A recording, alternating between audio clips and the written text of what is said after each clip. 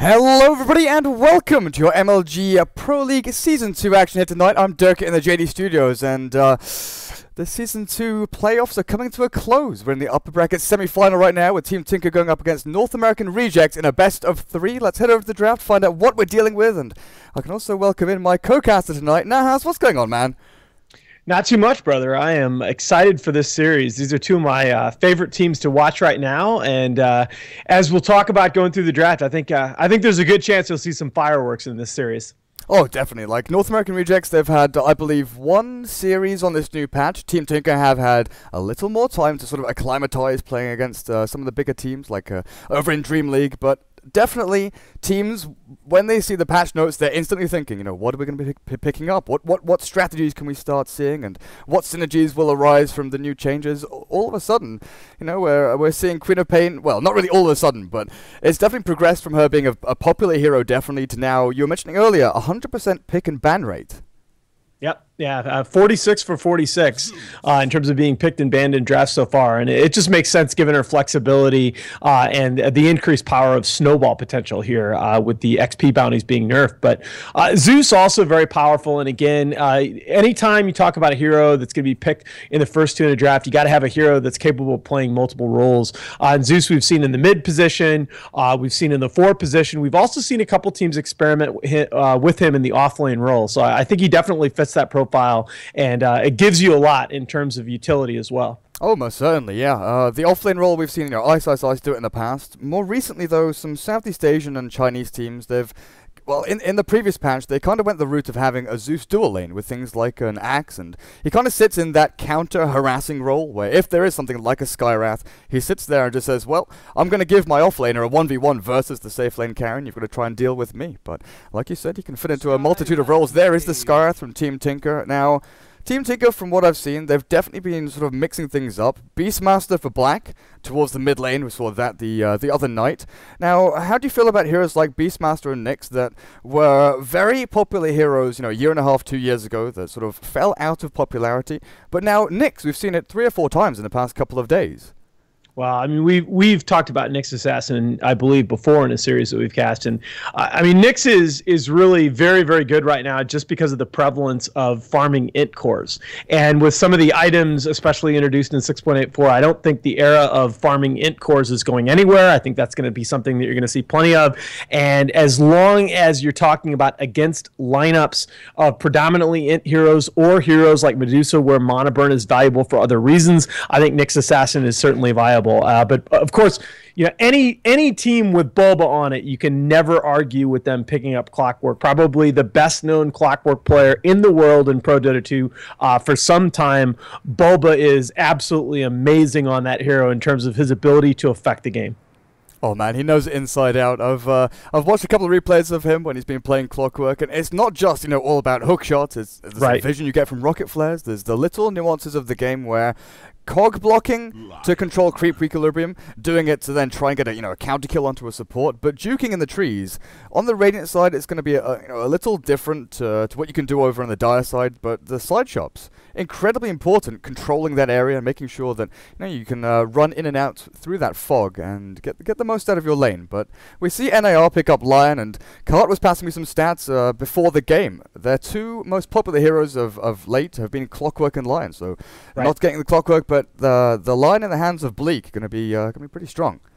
Yeah, although I, I really do dislike picking Clockwork into a Zeus. That's one of the problems that Clock has. Uh, one of his big strengths as a hero, in addition to be able to being able to zone out team fights very effectively with his cogs, uh, he's kind of a one v one creating hero. That's a lot of what he does with his hook shot and his combo is create these one v ones that can be problematic for a lot of people against his battery assault. Uh, and a counter to that is global burst damage, which obviously Zeus provides, AA provides, uh, Treant Protector of course course, counters them in another way. But uh, Clockwork struggles with burst damage in general and with global burst in particular. So I really think that the Zeus and Lion uh, can create a, a pretty hard time for the Clockwork unless he can get that Blade Mail up super, super early. Yeah, there's also the counter vision, obviously, from Thunder God's Wrath. If you can right. spot out the Clockwork before he gets the hookshot on you, you can turn things around before they even start. But Team Tinker, they've got that age-old combo of Cogs into Mystic Flare, which Zeus and Lion, you know, we've spoken about how strong they can be against Skywrath and Clockwork. With you know, Skywrath isn't a, isn't a tanky hero by any means. He's going to get uh, soloed down by the Lion at some stage of the game, no doubt about that. But they can go looking for picks on uh, on the opposite side themselves. With the Phoenix band out there from NAR, what? Yeah, it's a bit of an unusual ban. Uh, I I don't necessarily see anything here that argues strongly for that Phoenix ban. I wonder if NAR has something specific in mind. Yeah, it's a, it's an interesting one. We've seen Phoenix played in the four role uh, a lot by quite a few Chinese teams. I'm not sure I've seen it too much over in the European scene, but Clockwork. I was even mentioning this to you before the game started. Team Malaysia.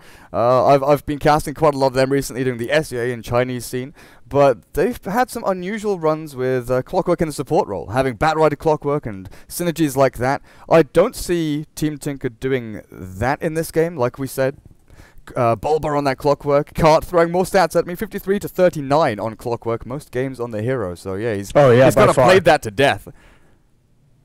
Yeah, and, and that's the thing. People Whoa. people naturally, well, okay, Hello? things just got really interesting, and and in, in a third position, no less.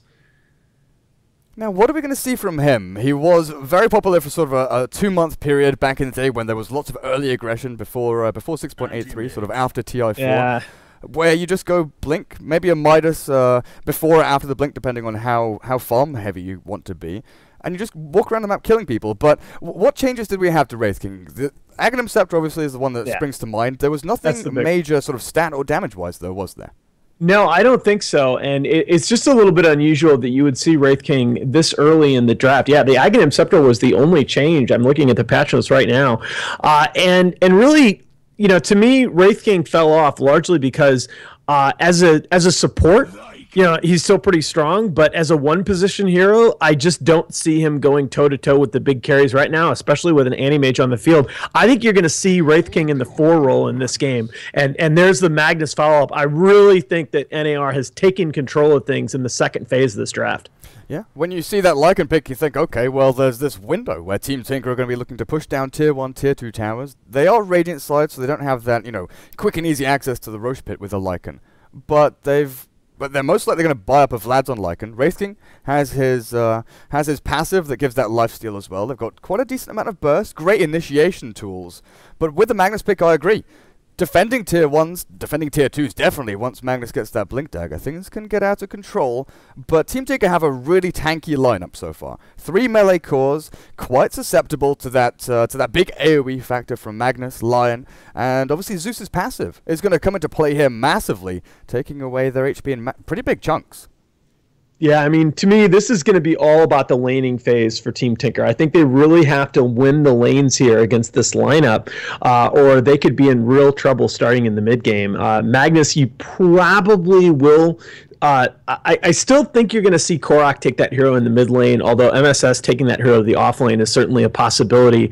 Uh, you know, I was mentioning earlier, I think we may see some fireworks uh, Korok is 17 and 4 all time on Dragon Knight and 13 and 3 uh, on Ursa.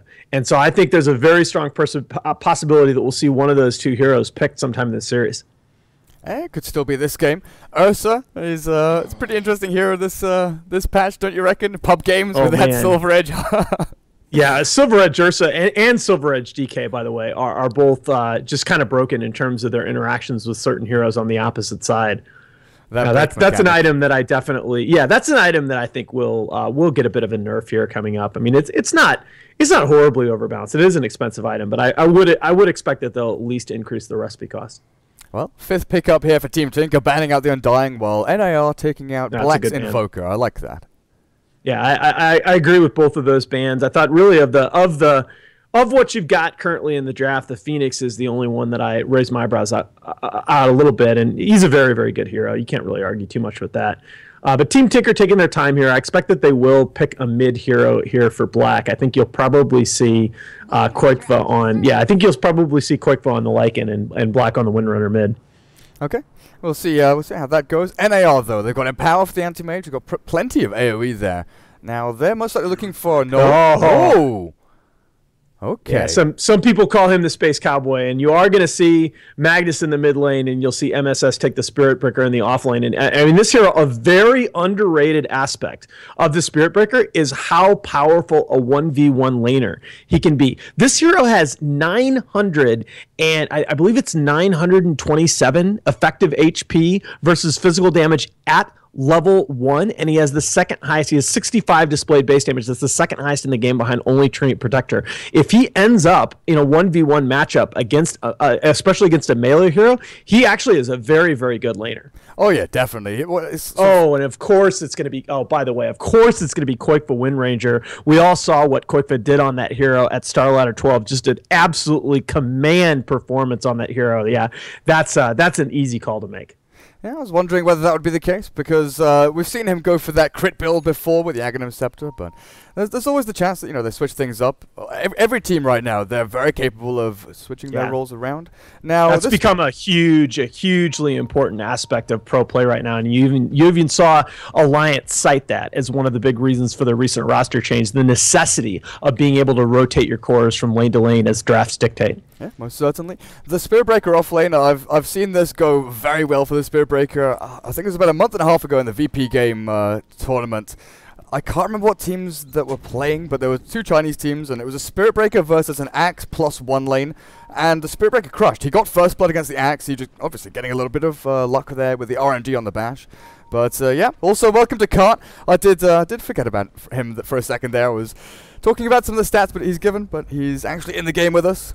Hopefully, going to be throwing out some of that yeah, little insight. D- don't worry, Cart is a stats person. We'll never let you forget about him. he's here. He's here. So, game one of this best of three here in the MLG Pro League Season 2 Championship Playoffs. Team Tinker going up against North American Rejects version 2. Bulba, Clockwork off lane, no surprises there. Ush playing the anti-mage in this uh, safe lane tri-lane looks like with Bleak Lion tagged up as Chad, Fogged on the support Zeus, while towards middle lane Korok on the Magnus, and down at bot Offlane Spirit Breaker with MSS. Over on the Radiant, what do we actually have towards mid lane? It's uh, Piladai just wandering around here. He might he might sit mid. He's a Skywrath is a great hero at definitely zoning out Magnus for the first couple of levels, but more likely than not, just blocking out this creep wave so that the bounty runes can go the way of Black, who's actually mid Lycan. Down a bot lane, way two on the support Wraith King with Boots first, and Koikva. Windranger down on this safe lane. So they don't put Koikva mid, on the Windranger, just giving giving oh, Black yeah. the Lycan there. No, Black is most of the time their mid player, and this is not. It's not a horrible matchup for either hero. Uh, the Wolves do have some innate magic resistance, but certainly Magnus is. Anytime Magnus gets another melee hero as a matchup in the mid lane, he's pretty excited about it. Oh man, the smoke at level one. Way two and Piladai. Not uh, not deciding to go towards middle lane. They want to try and find something at the top. And with Cogs and Bulba, they can definitely trap someone in. Fogged and Bleak both expending quite a bit of mana and time here, sitting aggressively, and this is an opening for Way 2 to go in with the Wraithfire Blast. The Arcane Bolt spam oh, will nice. surely take down Lion here. Cogs pushing back into Danger Zone, and First Blood goes the way of Team Tinker. Way 2 yeah. finding that kill. Little bit, little bit puzzling that they didn't anticipate uh, the offensive trial in a little better there. I mean, those two supports were, uh, you had to know that they were coming. Well, but oh my about, gosh! Yeah, you're speaking oh. about the 1v1 against the melee, but Spirit Breaker kills Koik for 1v1. Windranger against Spirit Breaker, and the Windranger loses out. I'm I'm telling you, it is just oh, so Wolves? easy to underestimate that hero early Wolves on. mid, gonna get the career. They need like three more hits though. Not gonna find it even with the Howl, and Korra comes in to clean up. Back yeah, dude, to death. I, I want to see somebody actually like open up a lobby and just record hundreds of spirit breaker bashes because it feels like there's it feels like it's no way that there's 17% on this hero. It's crazy. Well it is full on rng you know sometimes you go 20 hits without a single bash. There's no uh, that's true. That that's true. His, his bash is not pseudo random yep. I made the mistake of, of calling it out and talking about priming attacks and things like that about the Spirit Breaker Bash, and I got corrected pretty quickly. like, nope, it's not pseudo-random. Not nothing like that. So, last hit-wise, Lycan is doing well against this uh, Magnus mid lane, but it's kind of expected. The Wolves give you that extra harassing power. Korok can't really spam them out of lane because obviously that magic resistance does play quite heavily into uh, into the Magnus's creep clear and ability to control that. Yeah. MSS is he's turned into some icy form. He's white when he's charging. What what is this? Uh, is that the new immortal? I guess. I don't. No, no, it's not. Know. I don't know. It must be a yeah, it must be some item effect, but it's not the not the new one. Maybe that's just Spirit Breaker now. He's going to try and get in here to contest the pull. It's, it's pretty difficult, though, to pull the lane creeps across, especially when there's two supports here ready and waiting just to send you back out, send you on your way. Now, rune control for uh, for both teams, it's pretty easy for uh, Team Tinker to control O. Charge down towards yeah. mid. Korok's Invis, actually. Level 2. Yeah, we might see a play here. The Black's going to sniff it out. Yeah, they've got a ward that's on. Yeah. And he pings it out. See it coming. But they still don't know that Korok's invisible here. So if Black does uh, get close, oh, there we go. He reveals himself. Yeah, he's, he's too much time. at that point. At that point, you do.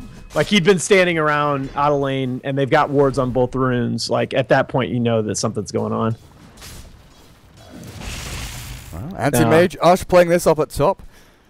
I like to build for him, you know, quite often we see the treads first. With the Quelling and Stout, he could go for the Battle Fury Rush, and I, I really like the Battle Fury now contains the Quelling Blade. It just frees yeah. up an item slot for heroes like Anti-Mage to continue. Uh, yeah, it does make a lot of sense. It's a nice, it's a nice sort of mini buff.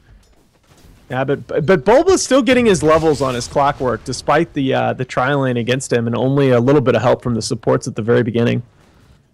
Yeah, level three and a half, salves himself up. Could be going for a bottle as his uh, primary item, just Wait. try and control that top rune spot, which he will be looking to do, but Korok is half a step ahead. Gets up there. Bounty rune for him while down at bot. Illusion for way 2, not the not the optimal rune for a Wraith King moving in. You know, you can do some sneaky things. Body block, maybe send them over to jungle to stop any stacking, but up at top.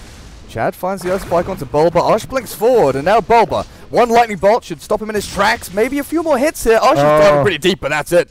Bulba yeah, has just enough to walk it off. Ush is Ush is not gonna not gonna be that aggressive early on. Okay, and there and there you see Quickfoot goes ahead and gets it back with the, the help of his two supports. Looks like way too wrapped around behind the tier one. Yeah, something we should mention: Black is really doing pretty darn well. Oh yeah, here in this mid lane, he is dominating this matchup against MSS. And he's almost doubling up. Like a few, one one more creep wave, he's gonna start doubling up on CS. But look at the damage done to this tier one bot now. Wind Ranger with the. Yeah. Uh, Actually, she, she, doesn't have phase boots yet. No null. With the Ring of Basilius, though, giving that little bonus armor across to her. Three ranged creeps plus catapult. Getting uh, quite a hefty amount of damage as we see another smoke here. Now, one thing with this Zeus support, he's great at stacking, great at uh, you know pulling and getting experience in the jungle and things like that, controlling lane equilibrium, and his damage output is pretty damn good. But one thing he does not excel at is roaming and ganking. So right.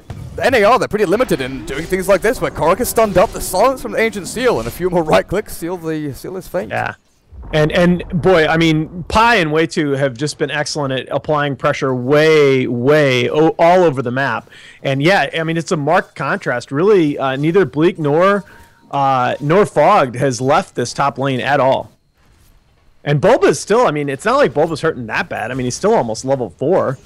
Yeah, it's something that we, uh, like I talked with uh, quite a few people in length about dual off lanes, and I know there was the interview with one of the MVP Phoenix players where they had Beastmaster and Phoenix as, as a dual off lane, and the question was, what, why do you do it? What's the main reason? And it was to draw in two supports, force them right. to stay there so you can't rotate through. And this is kind of the thought I had about the Nyx that we saw earlier today from, from Trixie in 4ASC he is one single hero that can do that role on his own. Oh my god! So you don't. I mean, he wasted so much time. That's another. It's an aspect of of off lane play that I feel like uh, we as casters don't necessarily talk enough about. Is that as an off laner, I mean, if you can waste three heroes' time on the enemy team, that's that's actually a win for you. Yeah, I mean, he did deny himself twice to neutrals, got a little bit oh, lucky, but definitely the fact that he was just dragging it out, making sure that as much time was wasted as possible. There is a smoke here, but not from the Zeus. Spirit Breaker and Lion actually making the wrap around, but look who's waiting. Black with yeah, Die both in middle lane. Who's the target? Right. Pretty aggressive uh, ward there placed between towers. Yeah, it's a it's a little bit. It's an interesting ward, maybe going for a courier snipe there uh, and exploiting the fact that you know Spirit Breaker can kind of charge in from an unexpected angle. Oh, they're gonna go on Pi. Shockwave missing actually here, but with the Earth Spike and Hex, should be a pretty simple cleanup. In fact, yeah. Korok skewers him back into the creep wave. Oh. Four heroes. Typical Zeus contribution. Zap and dead. I'm going to take that gold. Thank there you, you very much. Now, Quakefoot picks up a point booster, so could be an Aghanim's rush. But oh this yeah, is, this is going to be. This is this is Slosser's way, 100 percent, man. He's going to go for that early Aghanims, and and I, I really I've I try I've tried that a few times uh, since watching that video, and I, I really do think it's a legit build. And heck, heck, heck if PyCat does, who am I to disagree?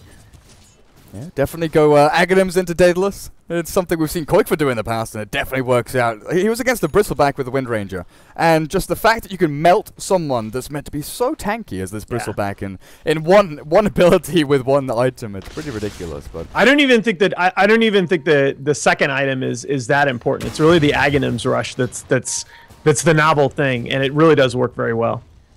Yeah, there you go. It was never done before. I The think, first uh, item mags was actually very rare as well. Ko- uh, Koikfa has gone sort of Midas before in Windranger as well to pad out that uh, that, that uh, item set. Well, I mean, it's Koikfa. He's going to go Midas on a lot of heroes, but I, I really do like the Ags rush here. I mean, they've they've got to be able to fight, and they don't want to necessarily. i- If you're trading free farm on a Windrunner, essentially for free farm on an Anti Mage, it's got to be because you believe that Windrunner is going to be ready to fight earlier than the AM.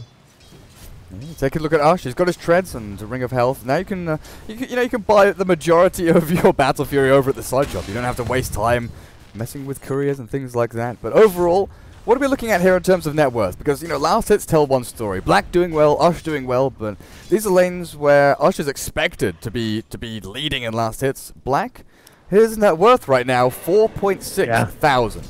I think that's the story of the game right now is the comparison between Black and Korok. I, I mean, I, I thought Black would probably do pretty well in this in this lane, but he has just cleaned up. And and again, a lot of that, you know, again something we should probably talk about more. A lot of that is due to the pressure that these Team Tinker supports have exerted by running around the map. I mean, it's hard as an opposing mid to feel confident in your laning position uh, when you've got Pi and Way2 controlling the map this effectively. And they've got a couple of stacks here for him. Ush is getting a little bit frisky on top lane though, pushing pretty hard up into uh, into this clockwork, getting a couple of couple of mana burns down, trying to limit how much Bulba can actually do. While over in the over in the Radiant jungle, we're just seeing it all cleared out. Like th- this is the big thing that Black is doing with his Vlad's medallion. He's going from lane to camp to camp to ancient. He's doing this cycle Right. over and over again, and this not Wow. only amplifies his farm rate, but it's giving Pylai Die the space to get up to level six, which he's just hit now. Exactly, exactly. I mean, I've, I've called I've called Black before. If any of you have read Moneyball, I've called him the Scott Hatteberg of Dota 2. He's just he's so damn efficient, and it's not just in an individual sense; it's in a team sense. MSS going to charge here, but cancel it. He charges through the wolves. Korok with a haste was looking for uh, for a sneaky RP play, maybe up on top lane, but against the clockwork, it's it's never going to be easy. While you look at bot, and Koikfer has had free reign. He's taken tier one. He's now pushing up into tier two, and it, it kind of feels like he's a brood mother. You have to send someone here to deal with him. You have to send multiple Ah. people here to deal How with him. crazy is that? I mean, uh, Team Tinker are, are at the point. I, I'm a little bit worried that they're going to just start winning this. They're going to start snowballing on economy at some point. I mean, obviously the anti-mage gets his battle fury, and, and that counteracts that a lot. But still, you know, their their heroes are going to be ready a lot earlier than this AM. But then that sort of begs the question: Where does Antimage farm? Because he's getting hookshotted now. Does Right. have the blink available, but if he's silenced up, you can't jump away. A Mystic Flare will uh, do a decent amount of damage, but Korok not going to RP, not going to expend anything in turning this back around. I mean, it, it just feels like the rotations from, despite having the Spirit Breaker, it just feels like the rotations from Team Tinker in this match so far have been almost always defensive. I've been keeping a close eye on Way to actually this Wraith King, and he's he's going for that dagger rush. It looks like, and Hmm? this is what led me to think: once Ush gets that Battle Fury, how much time does he actually have to farm? What items Yeah, does he go into? It's, it's, it's got to yeah. be Vlad's into a split push really, because you know there is no guaranteed farming spot. Yeah. No, that that's exactly the question that I've been asking myself, and I really like the fact that that Way2 was active enough early on that I mean, for the last five minutes or so, he's done nothing but farm. But if you're active early on, you know the the other team still has to respect your presence. Oh, Bleak on this Lion, no blink in sight for him. Well, Korok clearing through uh, a couple more jungle camps, 300 until his dagger, and that could start to, you know, pick up pace for NAR. Their four-man roaming isn't isn't too shabby. You know, you've got level six on the Lion, Finger of Death with the Zeus's ultimate to follow up. Oh, man. They could clean up a couple of heroes. We did mention Team Tinker aren't that tanky.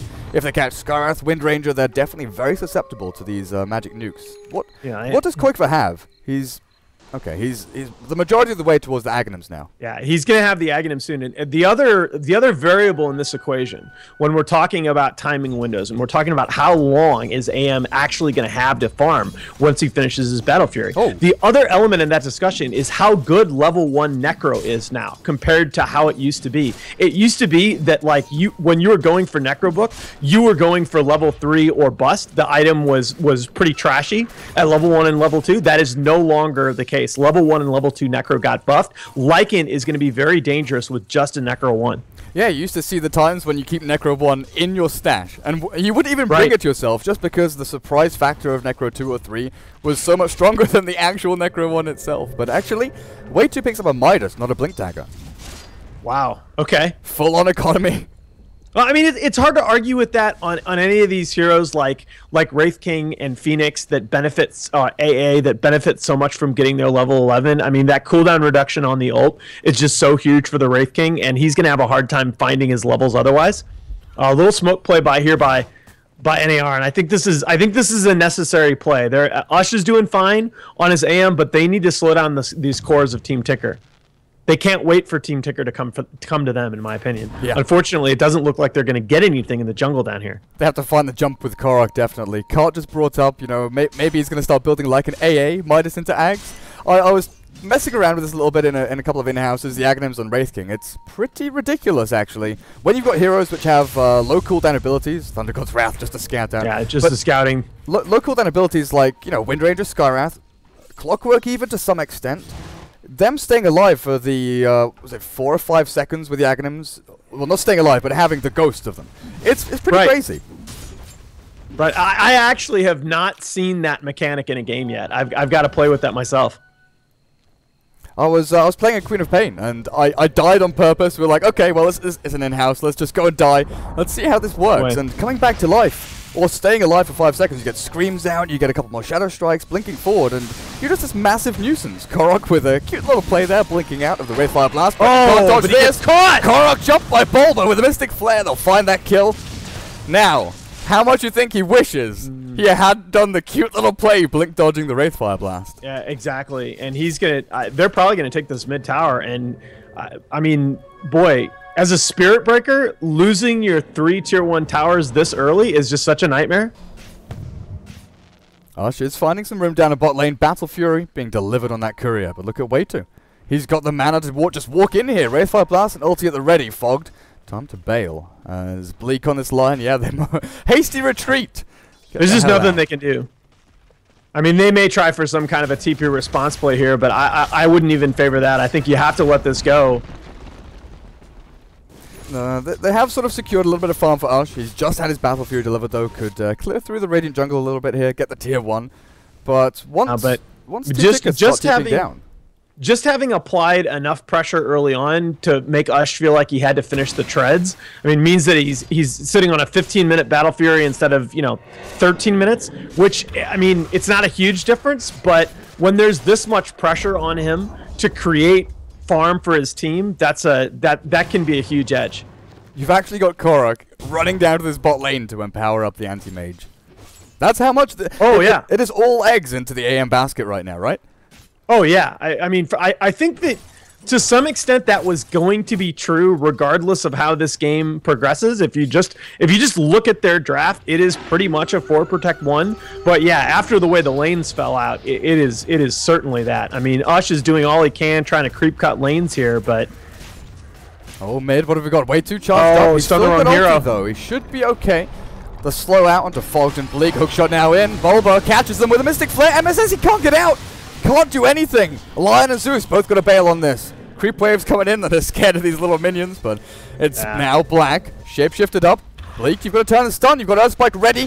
Does actually land down onto Black, but Korok misses the skewer. RP is available with that blink to start things off, but it is sort of scramble all jets. Get, get everything ready to defend your tier twos for NAR. Yeah.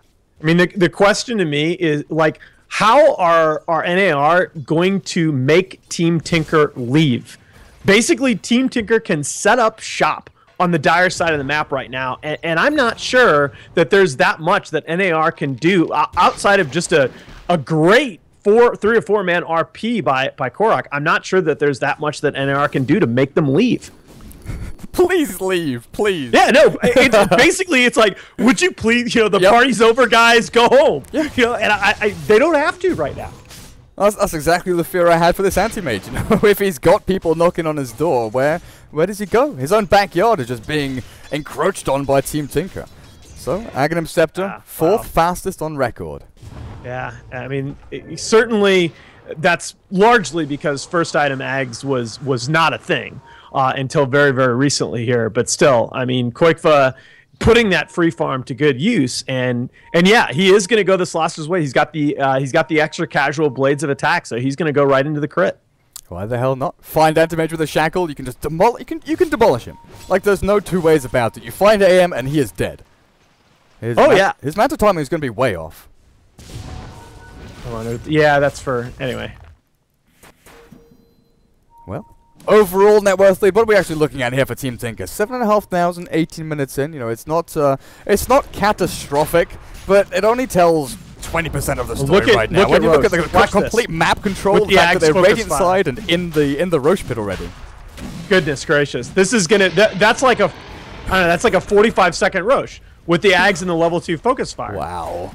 Hook shot across. Who they found? They found Fog. Oh, sorry, Fog. Um, s- yeah, exactly. That's exactly what I was gonna say. Just sorry, Zeus, but we had to. Pieliedie manages to silence and slow, but here's the LP on three. Korok found him. Takes Oh. one down, charge in from MSS, catches two. Bulba Qojqva. Shackle out onto Korok, does latch him in place, and Ush, Ush.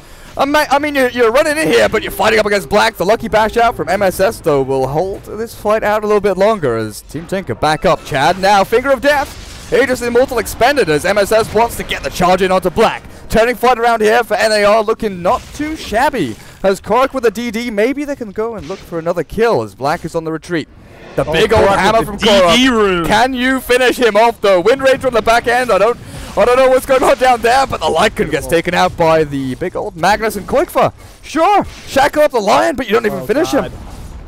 NAR just they had to have that fight, and I'm I was saying a minute ago, uh, the big play by Korok was the only thing that I thought could get NAR back into this game, and boy did he deliver! Not only the three man RP, but chasing down Black with the DD rune, Korok making the plays.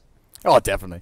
But with the with the Magnus, you, it's, it's the same thing with Tidehunter and Enigma. You always know that okay, tier one towers, we're gonna get them. He's not gonna have his blink dagger in time. But tier twos, it just opens this opportunity. It's not necessarily a choke point per se, but it's this it's the fact that you're all grouping up around this one objective. The opponent knows that there's gonna be this chance. Ush, hook shot. They're following it up with a Mystic Flare and Ancient Seal. They might just kill the Anti-Mage here, and they will do so. Bulba and Pieliedie, comboing up to find a nice kill onto that Anti-Mage who was getting a little bit ballsy in the Radiant Jungle. Yeah. And Bulba's going to get charged, but I don't think MSS can do anything with this. Bulba's level 11 already. Oh man. Charge, then run the hell away. So way two, Midas into Blink, level 12. His ultimate's and- up and ready in a couple of seconds. I mean, we should we should be clear. I, I- I think that, that that fight was a necessary condition, but not Yeah. a sufficient one. Here comes Pieliedie. Oh, we're gonna stun him up.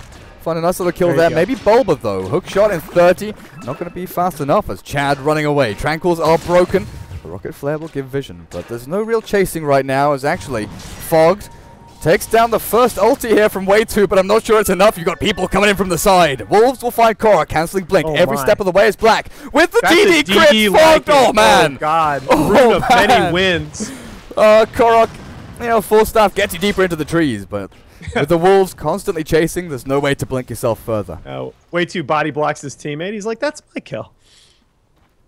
Love it. Nah, I, I mean that. Like I said, that that bottom lane fight a couple of minutes ago, that was a necessary condition, but not a sufficient condition for an NAR comeback. And you can kind of see, you know, it was a little bit of a dip. It, it caused the gold graph to level out, but it's it's only going to spike upward from here. I mean, they need another. Uh, they need a really big play, I think, ag- again from Korok to, to stave this game off. I mean, what level is Fogged? So Fogged is actually Fogged is making some progress toward his level 11. That will make a big difference, the level 2 Zeus ult. Yeah, when you're looking at these graphs, sort of like obligatory, if only this was 6.83 kind of comment, right? Oh, Lord, no, please no. I'm so happy it's 6.84. You and me both, you and me both.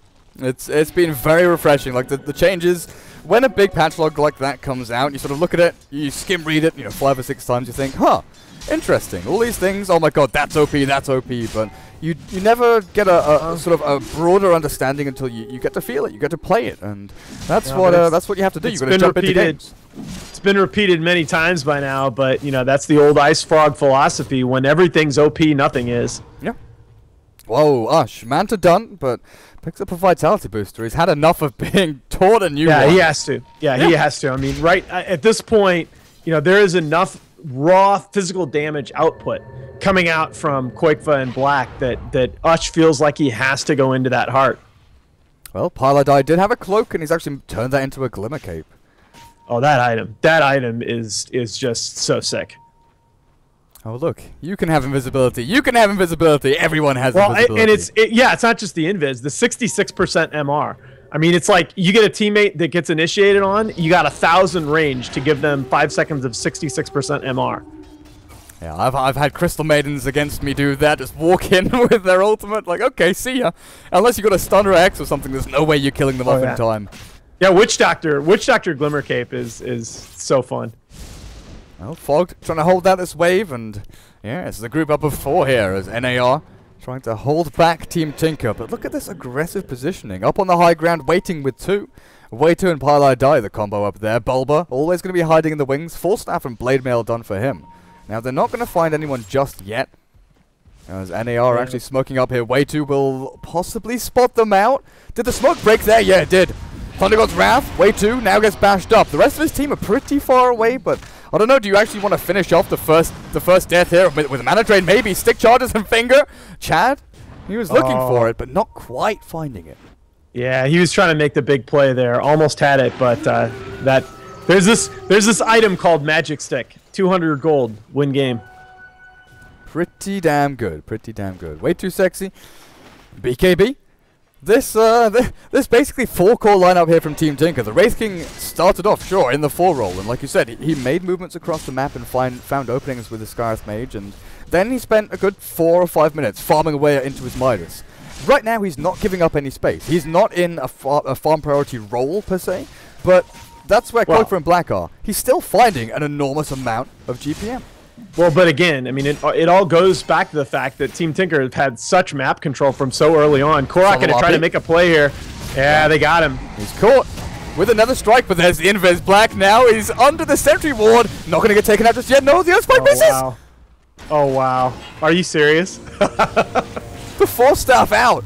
Will allow Blink to escape for now, but way too with his Blink off cooldown in five. They've not got enough time or room here to really follow through. Black, I can't believe that happened. But in the meantime, you do have Ush on his anti-mage, getting up into the tier 3. Doing a little bit of chip damage, but forcing out the glyph here I think is the most important thing. Especially Yeah. since the, oh, well, I guess there's a tier 1 mid which is nearly dead, so that will refresh at some point, but there's still tier 2s remaining. Yeah, I mean, then this is going to be the hope for NARV2, the the sort of prototypical combination of turtling and split pushing by the anti-mage. This is their hope to stay in this game right now, and I mean, they they do have some prayer if Ush can just get super huge and Korok can keep making these RP plays, but uh, it's sort of a tall order at this point. There are no tier twos. I think the sort of last bastion of hope is gonna be Team Tinker either getting really overzealous and diving tier three, tier fours, or the next mean, Roshan. That's what North not- American rejects have to sort of look towards, right? Like they're not that far behind. NAR are not that far behind when you look at the gold graph. It's just that they've got all of their net worth concentrated on one hero. Thunder God's Wrath. Oh. Almost Win- a clever play there. Yeah, they were looking for the vision. They knew he picked up that, that invis and wanted to skewer back into the rest of the team, but not quite finding it. There is a blink over on Lion now, so you know, their initiation tools have been amplified by that. Blink Force over on the Magnus, and probably uh, probably a BKB for him next. Just judging by the silences and stuns coming out of Team Tinker right now. And, and a little bit of a, of a fortunate Rosh side timing here that Roshan happens to spawn when uh, NAR has four heroes in this area of the map already with MSS ready to charge out. Rocket Flare to scout. Bot lane pretty open right now, and I think that's where Black is uh, sort of being signaled towards. Sends his wolves up top while Ush decides to go and farm there. But there are no outer towers remaining for NAR, so the the sort of main brunt of force here from Team Tinker has, has already happened. They've got that gold advantage, the hook shot into two. Bulba finds the line and the Spirit Breaker. He's got no one to follow up though, and actually forces himself into a pretty awkward spot. Yeah, and I mean, I, I feel like I, I, I might be selling NAR a little bit short here. I mean, uh, Ush has his heart in 200 gold. You know, this is not going to be an easy AM to take down. How good is he going to be in a team fight though against a shapeshifted Lycan? Yeah, that's going to be the question. I, he's he's not not bad is going to be the answer, but uh, with with what Team Tinker has behind him, I mean, the issue is that that, that uh, Qojqva also does a ton of damage, as you see on display there. I'm sorry, but a ton of damage. Koro just ceased to exist. Yeah, yeah, that that's that's the problem. It's not just fighting the Lycan. Oh well, actually, Lycan in a one v one against Anti-Mage actually loses out with the Thunderous yep. Wrath finishing it off. Yeah, I mean the, the the assist from Zeus there is significant, but yeah, I mean Ushkin with the hard finish, Ushkin stand toe to toe just fine, but that's crazy. no, one more crit yeah. and Bleak is dead. Bye. Yeah, and, and Bobo will take the kill, but what? Yeah, I mean she's a glass cannon, but well, I, actually, I mean 1700 H, 1700 HP. That's that's uh, bulletproof glass. Holy crap! That's very no, the, he's just like sauntering up the cliff and it's like, "Yep, yeah, what up?" And then, nope, focus fire and you're dead. No, it, I mean it, it's really you play against a Wind Ranger and you're not necessarily used. You don't anticipate this kind of damage potential. Look, this is zero, the, zero minus armor on Roshan here, and this is still going to be like a 30 second rush. Then with a ranged lifesteal out from uh, from the Wraith King, not too shabby. There's also that Vlad's change. I've I've not yet seen. Uh, not yet seen Vlad's used just for that, but you've got to factor that in as well. Gives that 25% ranged lifesteal over to over to people like the Wind Ranger now. Yeah, I think it's like, yeah, it's 10. 10, sorry. Yeah, 25 10, uh, 15, 15, 15 for melee as always, and 10% for range. Yeah, that's a nice buff to that item. Well, going to give up oh, that He's out of mana. Pretty much instantly. Oh! God, Mana Void. Yeah. But now maybe the turnaround. Bleak is there, blinks forward aggressively, but he doesn't want to be a part of this any longer. The shackle on Oh, the why stand there? The vision's not there though. The two-man RP comes in from Korok. Bulba looking to trap in the anti-mage, but that's it. Team Tinker lost three in this team fight. Good, good turnaround there from NAR. And look at the sustain uh, from Ush with that heart. Do they have anything left? Way two pops the BKB. The right click damage oh, coming that in. was actually really close. Anti-mage nearly finding it though, and NAR goes from pretty much being in a rough spot, losing two Roshans in a row. But you look at look at Black on this Lycan. He hasn't really split push too much. Much. He's been fighting pretty heavily in uh, in these engagements. He hasn't found that that room to breathe. Sure, he's had I mean, a lot of farm. You look at the farm curves on the AM and the Lycan, and the Lycan has leveled off, and the AM has just shot up. And that, you know, this was always, this game was always from the very beginning about will Anti-Mage have the time to get critical mass? And it looks right now like Korok might have bought him enough time. Well, way too. Jumps. oh no, he's dead. He's got no ulti. Oh. Uh...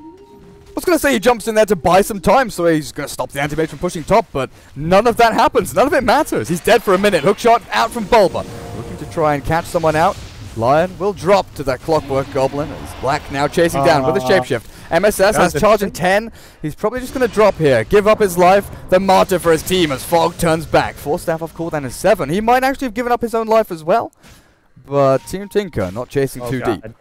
Meanwhile, though, this is this is going to be a serious problem because Ush right now is like another 2000 or so away from his butterfly and and yeah at, at, that point he becomes officially out of control. I mean even just with the talisman of evasion with the with the high base hp already from the heart the the extra effective hp against physical damage easily means that he can stand toe to toe with the Lycan even with the windrunner possibly nearby yeah, and when you look at the Windrunner who's going for a BKB as her next item to deal with these yeah, hexes and the, and the, mana void, it's it's pretty sickening when you, when you lose all of your mana and just get destroyed like she did down on the bottom lane. But there's going to be no MKB for her, no MKB for the Lycan who's building up into an AC. There is actually no one who can stand to deal with that. Yeah, and yeah, that that's going to be a problem. I mean, Ush is is going to be extremely difficult for them to deal with.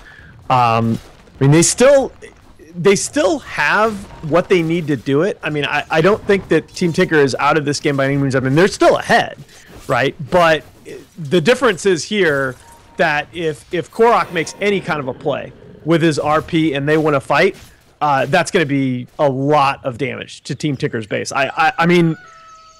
NAR, Ush is farmed enough that they can practically end the game in one fight. Just go and take racks. Go and take yeah. everything. Now Ush is 200 gold away from that Eaglesong. It's a little, uh, little change in cost there, making it slightly easier for the AM to pick it up. But that's it. Battle Fury done. 33 minutes into the game, and he's getting closer and closer to being six slotted. Oh, one, one more item. Wow. That's it. Oh, huh. Look at that. Yeah, I did not expect him to go in that direction, but it actually makes a lot of sense. I mean, there's no MKB on uh, on NAR either.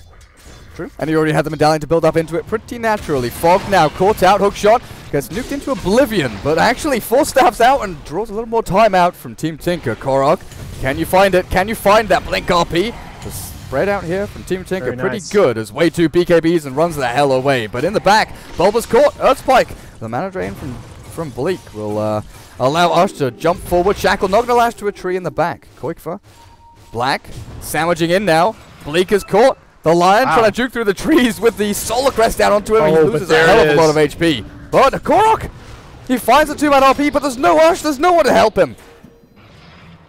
Uh, Us just got totally neutralized in that fight. Yeah, sort of blinking back and forth, not finding well a target to go onto. No, I mean the other thing about the Solar Crest is is the Solar Crest is is like a mini Doom for the AM right now. I mean that 30% miss rate that it applies in minus 10 armor uh, that that really neutralizes a lot of both his tankiness and damage output.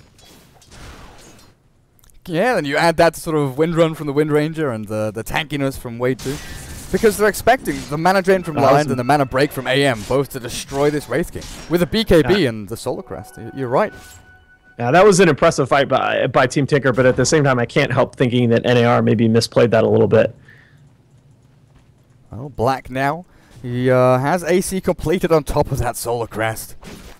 18,000 net worth. What are we looking at overall? Because we had a pretty big dip there towards North American Reject, gaining back about 4,500, 5,000 net worth from the pretty pretty big lead that Team Tinker had. But yeah, it, it plateaued for quite some time. There was this period of seven, eight minutes where there was no further progress. Yeah. At some point, you, you do have to question also whether Ush is going to have to go BKB here. It's a hard choice. Antimage is always one of those uh, one of those heroes, kind of like Earth's uh, Ember Spirit, right? Where you, you never you, you never want to go BKB, but you have to. Uh, at some point, when when you are this much of your team's damage output, way too.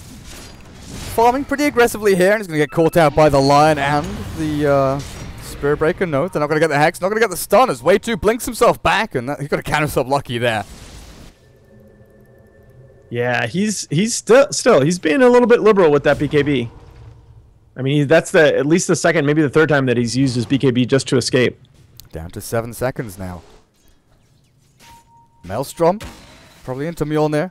It's an uh, interesting item to pick up on uh, on this Wraith King at, at this stage of the game. You know, it's regularly seen as a farming tool. With Abydos, he's obviously got enough capability there for well, it. Is this just the, uh, the pushing out creep waves in case the AM takes a Rax? Uh, actually, no. The, the shield is is going to do uh, quite a bit of work for them in fights. Uh, you put the, the lightning shield on black in oh, these yeah. fights, and that's that's actually going to do a lot of damage. People tend to really underestimate that. I see a lot of people leave their casual their casual maelstroms. Mjolnir is a good item. That static charge is pretty nuts. There, there was a video released uh, about a week and a half ago, I believe. Oh, yeah. A sniper. I don't know if you saw it. Yeah, yeah. Static the, charge the on himself. Iron shell procking it. Yeah. Yeah. Turns back awesome. around, one versus five, and gets a rampage.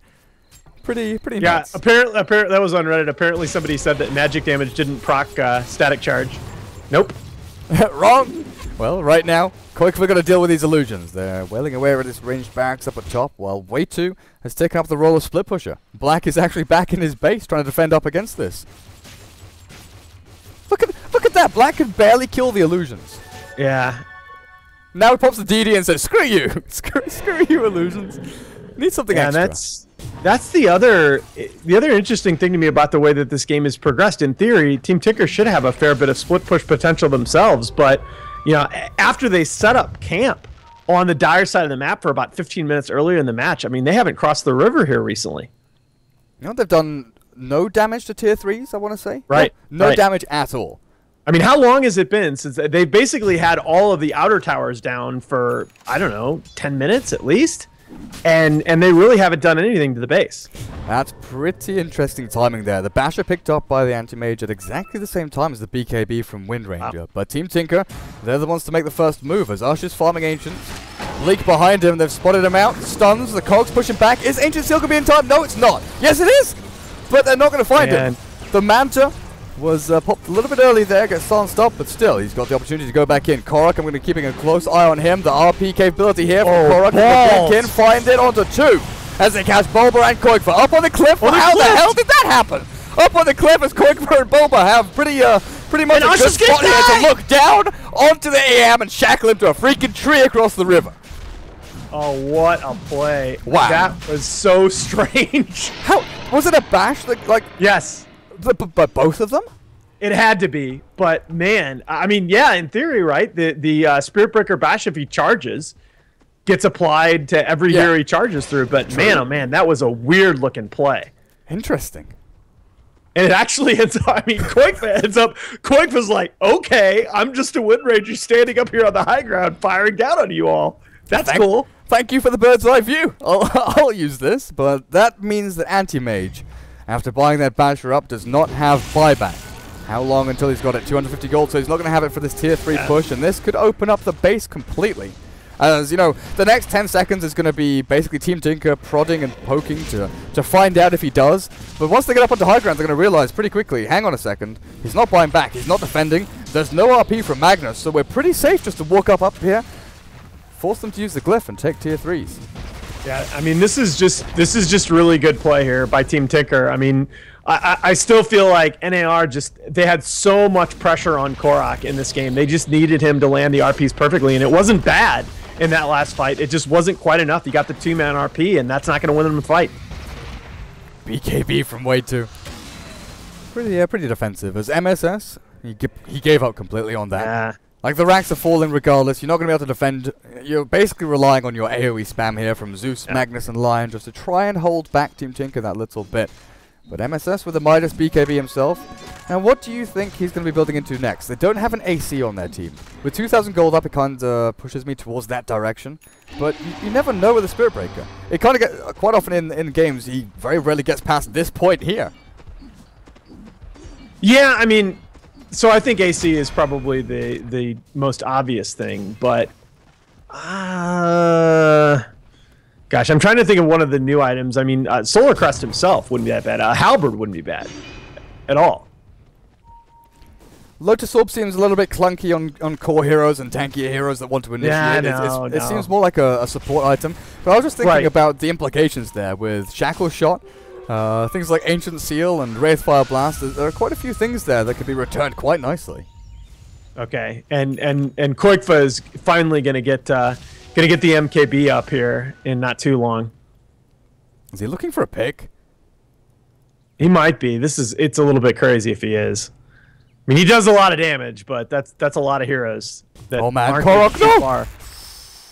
He turned. He thought about it now. Oh, whoa! If Fogged gets shackled, nope. There's also Lion behind, so it looks like quick. That's the other. The other thing is that you've got to expect at this point that a Zeus is just going to sort of be walking around spamming out lightning bolts. He's looking. Yeah, that so Cart went Cart went back and looked at the replay, I, or, or, or, looked at the stream. I I suspected that, and that's just nuts. Oh man, it's such a it was such a fortunate play. I think Team Tinker probably would have won the fight anyway, but that that was definitely a fortunate play. Yeah, most certainly. One bash, one bash from the charge. So Korok went for Ghost Scepter and not for a BKB. So uh, he's, he's more worried about the physical damage output there from the Lycan and the Wind Ranger over the uh, over the lockdown potential from the Wind Ranger. Little Wolvie, he's, he's following Korok around. And this is one of the great things about Lycan. You know, we mentioned about That's Clockwork so early on in the draft with his Rocket Flare. But the vision you get from Lycan at, at this stage, especially when you don't need them to farm jungle camps. Yeah, I mean, and, and really, you know, when you start talking about really throughout the game, but especially when you start talking about this portion of the game, uh, vision is I mean, you've seen Cloud Nine's drafts recently. I mean, Vision is is literally possibly the most important single element of the game at this point. Gain vision, take vision away. Yep. I mean, it, it, it it's kind of, I don't know. It's like it's like defense in, in football. Like it's not necessarily that exciting to talk about all the time, but it's such a critical element of the game. Well, there's your abyssal over Here comes MSS. Jumping onto way two. He does Oh, he's gonna man up. but mana drain maybe takes away his first life. No, he's going to have his uh, reincarnation ready. He's actually in the back Oh, end. The Spirit trouble here. Killed off the Skywrath Mage, and that's going to be a 2-0. Wow. I mean, that's that's your YOLO cow play right there. Go in and stay in. Well, there's your BKB for Korok, so he does actually go back for that item. Yeah. Now, uh, And I, I, I think that that's correct. Uh, uh, I think actually, even in, in high level games, I think I see Magnus uh, rush refresher orb a little bit too often for my taste. Like it, it, getting getting two RPs off in a fight is not necessarily better than getting one perfect RP. Yeah. it's flashy. Right. I mean, I, I, I, in many, many cases, especially with the damage output that they're going to have from Ush, if he gets targets close together and gets to attack them freely, I mean, one perfect RP is is just so good for them.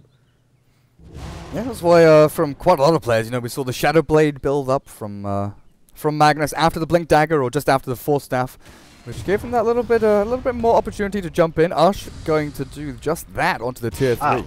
Yeah, and he's just blink offensively there. I mean, that that speaks volumes about the the confidence that Ush has in his team behind him. Look at this wolf though.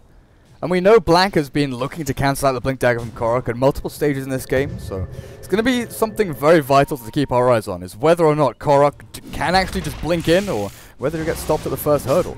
32,000 net worth right now up on that anti-mage, and he's, uh, he is pretty much fully six-slotted. You know, he can sell Well, out treads for travels and sell battle Well, but again. You know, that's what that's what it makes a difference. That, for example, right now he can buy a, a moon shard. oh very true. I mean, that's a that's a, a really big deal for heroes like Animage and Shadow Fiend. That that once they get, it feels like in so many of these games they get six slotted, and it's like, okay, where do you go from here? I mean, the fact that they they have something to spend this extra gold on, I mean, it means that AM can regularly go now to like, you know, 50 or 60 minutes and, and still be okay. I mean, people didn't realize AM's win rate used to drop off precipitously after about the 45 minute mark. It is Lotus Orb. There, I- there you go with the Lotus Orb. I, I, I still feel. Do you still feel like this is anything other than a gimmick item? Um, I don't. I, I don't know how I feel yet about it. It's sort of ambivalent. fair like enough. yes, yes, it can be good in certain situations. Like we've seen it do decently against heroes like Lina, but I still feel that it's clunky and it's build up, and that's kind of the point I was trying to make with the with the Spirit Breaker uh, particularly. You know, you, you don't want to go for for this kind of build up into this item. It's it's kind of awkward, but then again, it's very expensive for supports to build it up. So I'm, I'm still not sure where it fits in the in the sort of rotation of support core and uh, in between items. It it's, it's interesting though. The idea behind it, sure, it's a little bit gimmicky, Whoa. like you said, but uh, I, d- I don't know. I mean, it, it, it kind of it feels really cool on a hero like like Yolo Cow that can just get in there and all right, what are you gonna do to me? Whatever you do to me, I'm gonna do back to you. But uh, I just I don't know. I haven't seen the item enough in high level play uh, to really understand its niche quite yet, and that's that's part of what's really really fun about this patch. There's so many new elements. Uh, I think the strongest thing though from this item is that is a debuff potential. It dispels all uh, pretty much all negative buffs. So I, I think that you know if, if AM does get shackled before he can pop Manta, before he can get into the team fight and actually do damage, you know you can just debuff it off. Make sure that he can get into that uh, get into the range of the Wind Ranger or the Lycan and actually be a part, be an impact. Yeah, so you can see NAR kind of both teams looking to the Rosh pit at this point, and for good reason. It's it's it's late enough in the game, uh, and especially for NAR and and Aegis at this point on their team, you know, is a is a fairly big deal, if only to to deny it from Qojqva. Well, another fast spawn, pretty much on the dot. Eight minutes or so as MSS with the Empower, and it's something you know we touched on very early on into the into the game with Empower over on the Anti-Mage, but also when you've got core heroes like Magnus who has has pretty good stat gain overall. His his attack speed isn't too shabby. It's uh, mainly based around his itemization though. He's gone for that utility build, but Spirit Breaker on the other hand, you know with treads and BKB, he's doing close to 250 damage. Yeah, Yeah, people. Again, it's sort of an outgrowth of what we talked about about the hero's laning phase. That it's stronger than you think. I mean, you know, this hero has good base attack damage. He has decent stat growth. Uh, I mean, you know, 2.4 strength gain isn't great, but you know, he can. He, he's not a bad hero. Just just swinging his mace. It looks like we're going to see a Lotus Orb actually on Pieliedie as well. Gosh, I I don't know about this. I mean, the Glimmer Cape obviously is like super super legit, but Lotus Orb I, I'm just not sold on it yet. It, that's expensive. I mean, that, that can be an extra force staff. You know, that can be a ghost scepter. Yeah. And what are we actually looking at? Because uh, I mentioned Team Tinker, obviously, there's, you know, Ancient Seal, Shackle, Wraithfire Blast, things like that. Over on the other side, Mana Void, Hex, Finger of Death, Charge, Lightning Bolt. Nice. You know, there's there's decent things there, but there's nothing that really sort of right. springs at you outside of the right. Lion's abilities and and it's it's not you know that's the other problem is that it's it's not about is it a good item it's it's about is it better than the other items that you could get for that price and when you're talking about a skywrath mage i mean a skywrath mage can build e-blade and be awesome so yeah it, it's hard for me to see that that item on him is optimal but here you go mss yeah, or you get some two-thirds of the way to Hex. MSS cancels out. Rocket Flare will scout as well. The wraparound from the rest of the team. Looking, uh, looking for Black here, who stood out all on his own.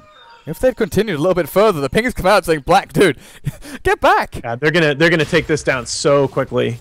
I yeah, I, I think at this point, at this point, Team Tinker backing off is is pretty much conceding it. I mean, Rosh did get buffed here. Oh, but the BOT's so in. It's taking a little. Oh man, they're going straight for it. Rax, the glyph's already popped, but it's too early. Are Wait, way too early. That is far too preemptive there. As Fogs is the only man here to defend. TP's coming down from NAR as Lion throws out the Earth Spike and Mana Drain onto way two. But Black has already taken down the melee. Hex with the Black. Okay, you've, you've slowed him down. But actually Bulba, Bulba slowing the advance here from NAR and way two BKB's up. MSS looking for the charge onto Black and will find it. Black get it. Abyssal bladed, no cheese, no time. Oh man, the evasion, the evasion! He could have popped cheese and maybe could have survived there, but I, I can't believe that evasion chance. He's, he's got buyback. He's got buyback. It's fine. And that, that's a, a huge trade in favor of Team Tinker. And and and kudos to them for the awareness. I did not. I didn't think they were going to go for that play. It's like, oh look, they're backing up. They're, they're going to top rune. They're, they're farming ancients, and all of a sudden, two BOTs mid, a couple of heroes sat at top. It turns from nothing into a drastic opening for Team Tinker just to waltz into the base and take another set of racks. MSS has a pretty beefy creep wave down a bot to deal with, and that, that actually gives Qojqva MKB and buyback as well. Wow. Yeah, I mean that that's another really big deal is that people talk about the creep changes, uh, the changes to creep gold about about five or six percent less, the changes to ancient gold about fifteen percent less, changes to neutrals about about three percent less, but the Rax gold buff was actually huge that you could you now add to your team's gold lead to a huge extent by taking out a set of racks. Well, Ush wants a bit of that gold as he blinks forward aggressively once again onto the racks up at top. What what was the change? It's like 100 gold extra per player or something crazy? Yes. It's it's like 150 extra per player. It, it's it's it's really significant. Looks like racks will fall here as NAR takes something back for themselves as Pieliedie dived under the tier 4 as well the Glimmer Cape. Make sure that he's perfectly safe. Now way two, yeah. way two, pops his own BKB, jumps in on the fog and Bulba finds a good hook oh, shot in, Bulba. but only catches one and there's no cogs in time. As I don't know about gets this. a nice hex and Earth Spike. Qojqva! Yeah, I don't know about this. Oh, she's cleaning up in the back. There's no one to stop him. Black, fine. You've you've TP'd in, but the rest of your team's dead. Aegis Immortal actually pops there as Korok still has RP. And Black getting stunned up. Does he have buyback? Yes, he does. Double buyback, probably triple here as Lycan needs to enter the fray once again. But they, I, I mean, God, NAR was backing. I mean, they were looking to disengage, and I, I know Black was just about to respawn, but uh, Team Tinker did not have to force that fight there. And I mean, I know Bulba had a pretty good angle on the hook shot, but boy, uh, I, I think that's a, a, big, a very big tactical mistake by Team Tinker to attempt that fight there. Yeah, you can probably tell from my tone of voice, sort of, you know, starting to uh, starting to lower down because they were backing themselves up, and then way too jumped in. You're sort of thinking, well, is what, what's the plan here? Is is he jumping in to try and deter them from going mid racks, or is he just going in to try and pop his reincarnate to slow him or something? But actually, fully committing for that fight there. Two buybacks. What do we have? Windranger and Wraith King. Yeah. Oh, okay, so it's it's about it's between 100 and 125. Gonna force staff in the Glimmer Cape? No way. No way did he survive here. MSS does jump in. Qojqva, there's no buyback. Hex stop, but he's dead.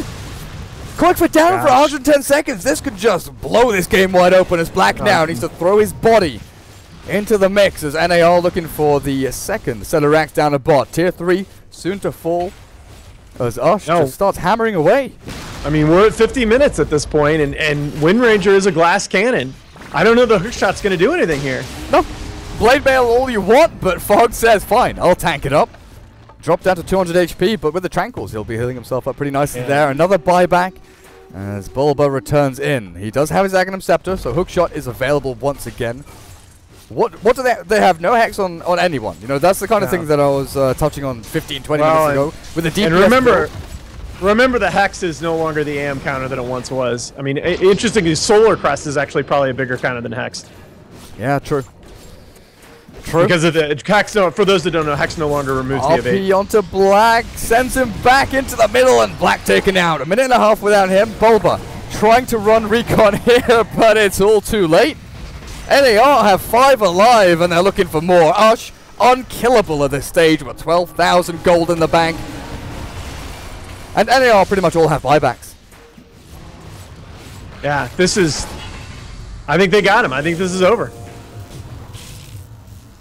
Well, Ush wants to keep this bot lane pushed in. Not going to commit fully for this mid lane of Rax as Korok are coupled up with a charge. Funny interaction there with the Clockwerk, but You've got four heroes down for Team Tinker. Pieliedie all alone in his base, sitting in the fountain. Eat right. Okay, NAR, they're taking three lanes of ranks.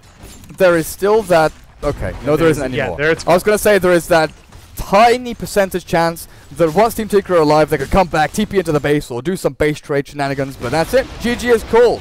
NAR win the first game in this best of three up against Team Tinker, and man, wow. that was uh, that was pretty back and forth.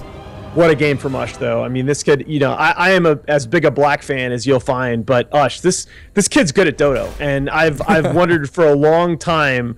I think he is one of the more talented young players I've seen, and I've wondered for a long time, you know, if he was going to find a stable team and what he was going to look like when he did. Uh, maybe this is the beginning of something really cool.